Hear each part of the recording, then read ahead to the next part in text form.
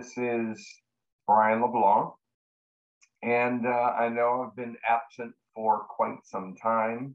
And to be honest with you, that's because I have been uh, I've progressed a little bit and it affected my memory. I was forgetting a lot of things. And one of the things I was forgetting was to uh, show up with, with, uh, with Joan uh, to make sure that uh, everything was going right and so forth. Well, uh, that didn't work out. So we've changed platforms now. We're on Zoom, uh, which is much easier for me uh, to uh, to handle, and uh, we're going to see how this goes. Um, so, Joan, thank you, thank you for for doing your thing to get things going. Um, all right, what I wanted to talk about today is traveling with dementia or vacationing with dementia.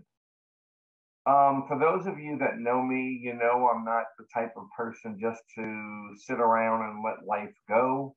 Um, I like to do things. I like to stay very active uh, because that keeps my brain active. Um, so what happened was earlier in the year, um, well, I think it was uh, back in September or early October, uh, we went to the theater here in uh, in Clearwater, Florida, and we saw Eric Clapton.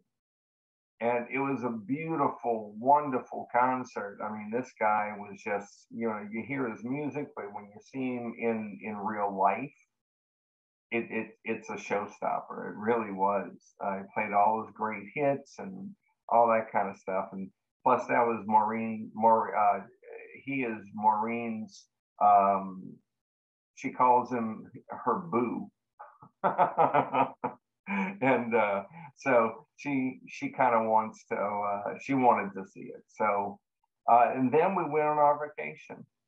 And we went to we started out in las vegas and we saw lionel richie in concert.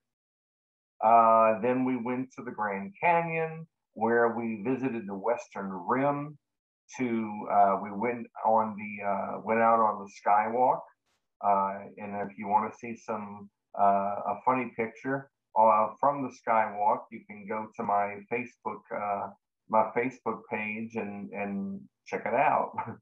um, we also went to Sedona, did some shopping, and um, the only bad part about it was coming home. Our flight was canceled, and so it was it was about a 24 hour wait before we were able to get on another plane and to get back home. Um, I was surprised at myself for not getting very anxious because normally I do, but then I realized that the times I really get anxious is when I was traveling by myself. Well, I no longer travel by myself. I travel with Maureen. She goes everywhere I go.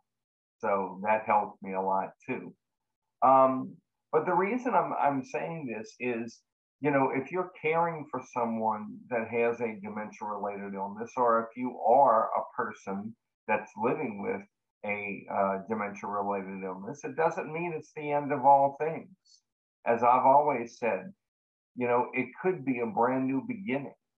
And you could do a lot of things that you've always wanted to do. And, you know, they're there for the taking why don't you get out and go do something?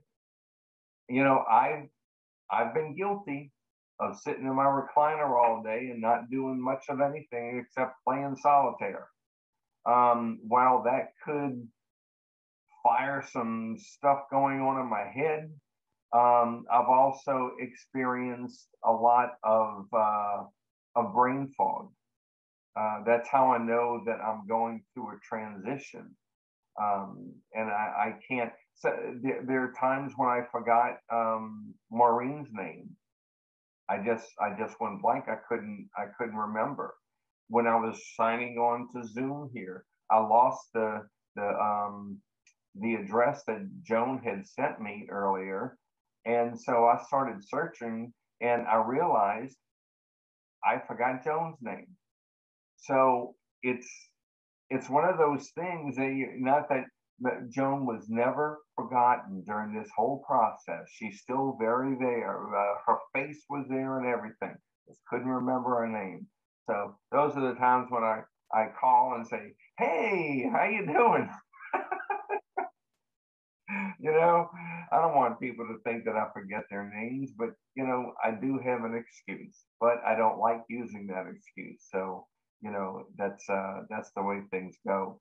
But if you can, you know, if you can do a trip, and you know, you might want to start off slow. Just take a a trip, a local trip somewhere in your area, and if that goes well, then okay, maybe you can go on another trip that's outside of your comfort zone, really.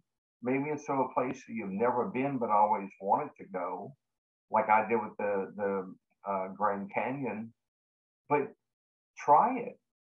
You know, you make some preparations, get yourself familiar as to where you're going to go, and it won't be so bad.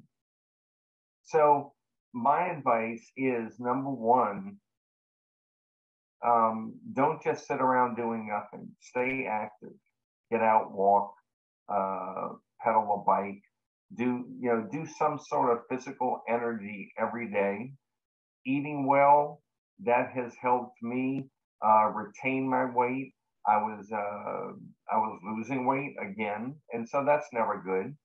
And um, and just you know enjoy life as much as you can and i guess that's uh i guess that's about it now and uh i will sign off but not before i say i'm brian leblanc and i have alzheimer's disease vascular dementia and type 2 diabetes but you know what I don't let them have me you should do the same.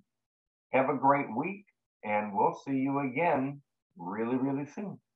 Thank you.